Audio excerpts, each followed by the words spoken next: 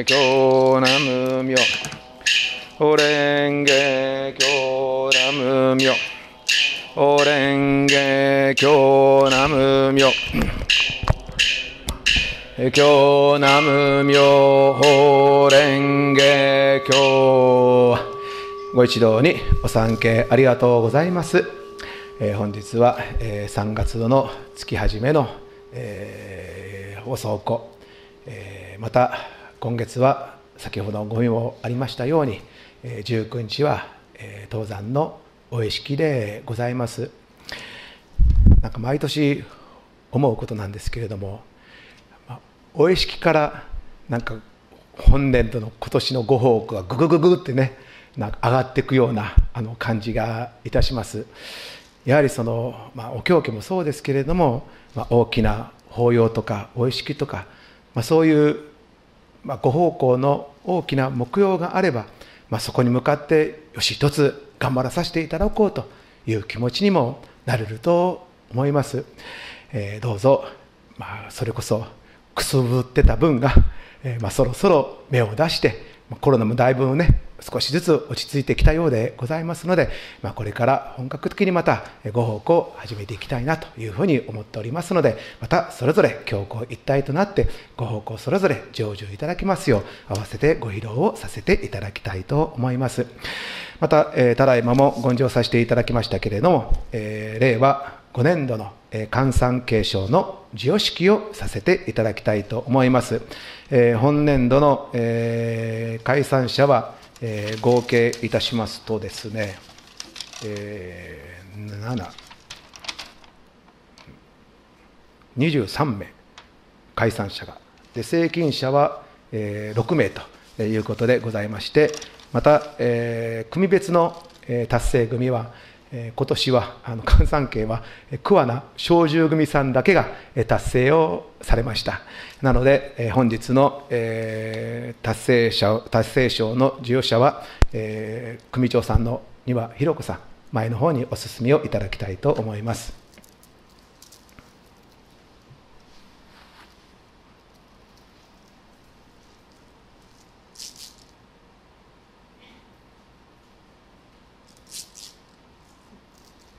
おめでとうございます。はい、ありがとうございます。はい、ありがとうございます。では、それではただいまより、えー、月始め祈願走行へのご訪問、ご教科を拝見をさせていただきたいと思います。ご教科にご利益がいただきたくば、けたいおば、やめて信行、第一にせよ。ご利益がいただきたくば、けたいおば、やめて信行、第一にせよ。街道省にお示しのご教科でございまして、ご利益がいただきたくばけたいおばと。あなりたい、こうなりたい、この願い叶えていただきたい。あるいは、まあ、取り立てで別に大きな願いはないんですけれども、日々無事息災で、どうぞ今日もまた過ごせますように。そう願うんだったら、思うんだったら、けたいおばやめて信行第一にせよ。そう思うんだったら今以上それ以上になお一層苦笑三景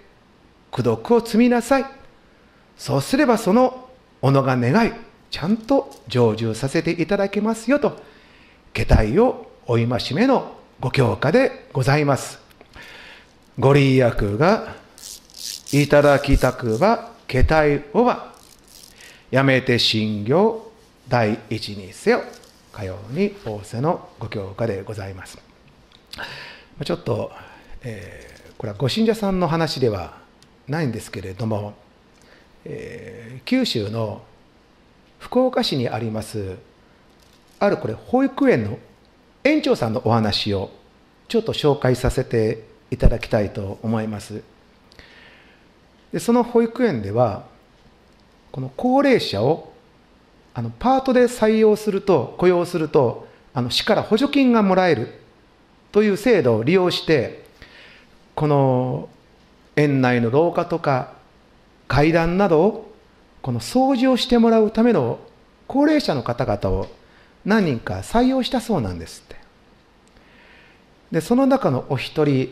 まあ、仮に A さんは口数は少ないんですけれどもまめにこのちょこちょこちょこちょこと体を動かされて、まあ、そのおかげで、まあ、保育園の中はきれいになったんですって。ところがある日この A さんがちょっと風邪をこぜらしてしばらくちょっと自宅療養することになったんです。そうしましたらたった45日園内の掃除が止まってしまっただけでこのあちらこちらにゴミがあの溜まってきたんですって。でそのゴミの量を見て改めてこの園長さんですね。A さんの真面目にコツコツとなさるその仕事ぶりが、まあ、分かったわけなんです。ちょっと休んだだけでもうすごくゴミが溜まったっていうことで改めて、ね、真面目にちゃんとコツコツとなさっていらっしゃった。口数は少ないけれどもね、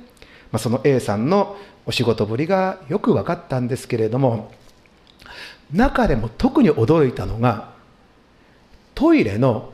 この隅の汚れが目立ってきたんですって。つまり A さんは、まあ、それこそ誰も見ていないようなあるいはまあ大掃除の時にすればいいようなそんな箇所までも毎日毎日掃除をしていたんですって。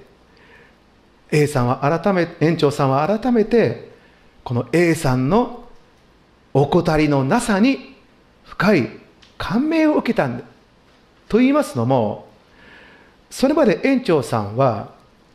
この A さんの仕事ぶりを見て、まあ、確かにまめには動かれるんですけれどもちょっとゆっくりすぎるんじゃないかなと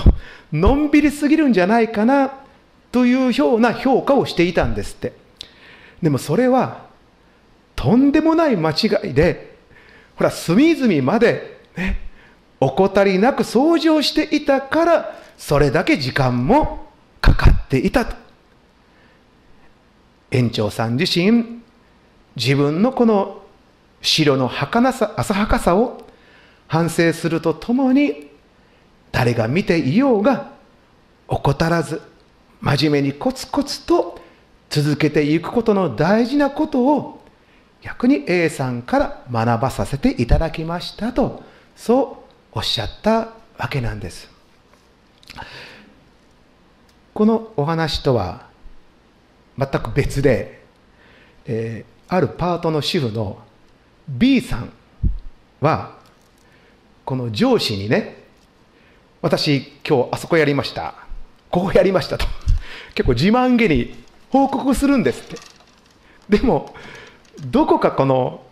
サボり癖がある B さんだったようでございまして人が見ているところは一生懸命やるんですけども見ていないとまあサボるような、まあ、そんな癖があったようですか？怠っている部分が毎日少しずつゴミが溜まっていきましてねやっていない部分がだんだんだんだんゴミが溜まっていってついに誰の目にも分かる形で現れたんですって。であそこやったここやったという割には全然できていないということで、まあ、会社の人たちからの信用を失ってでちょっとした失敗を機に辞めさせられてしまったんです。解雇されてしまったんですね。でも B さんは自分はこの不当に解雇されたと、ね、なんで私クビにならなきゃいけないんだと。思い込んで絶対辞めさせるなんておかしい。と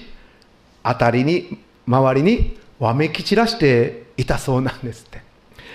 でもそうしたからとやって良くなるわけじゃありません。もう性分がやっぱり怠り癖サボり癖がありますからね。ですからわめき散らしたって良くなるわけじゃありません。これぞまさに自分自身の手で幸せから幸せを逃してしまっている一例であると言えます。でもこれがもし A さんだったらどうだったでしょうか？たとえ失敗しても文句言わない怠れない真面目なそういう仕事ぶりが変われてきっと回らない人があいいよカバーもしてくれるんではないかなと思います。こうしたように何事においても怠らずに前進をするということがこれがもう幸せの原理原則でございます。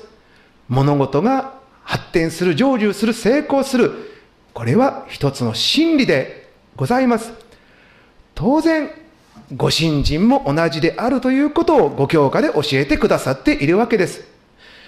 ご利益がいただきたくばけたいおば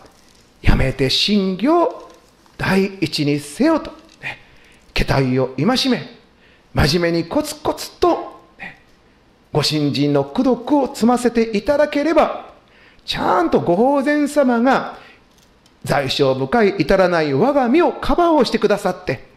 大難を湘南に湘南を無難にと、ね、あるいは災難除滅等々、またそれぞれのお願い事、ご利益をお与えくださるわけでございます。お書き添えのご指南も合わせて拝見させていただきますと、けたい起これば災い来たる。心定まれば福来たる。気体起これば災い来たる。心定まれば福来たると。不良災難が起こるのは信行、気体の上だよ。でも、努めてお産経、またご方向にと、信行増進に努めれば、ちゃんと、ね、天寿教授、災難除滅等々、ご利益がやってきますよと。そのようにお示しくださいました街道商人のご指南でございます。ですから、どうぞお互い、まあ、先ほど言いました B さんのようなですね、もう口先だけで実際のお参りは少ない。それでいてご利益なんてないわ。などというようなご法然様に文句を言うような、まあ、そんな信者にはならないように、どうぞお互い一番恐れるべきは、桁体であると。一番怖いのは桁体である。そう一つ心得ていただきまして、真面目にコツコツと前向きに功徳を積むことの大事をお悟しくださいました。本日、街道商人のご教科でございます。ご教科にご利益がいただきたくば、桁体おば、やめて信行第一にせよ。本門八本書見上行書伝本人下手の南無妙法蓮華経南妙法蓮華経南妙経南妙法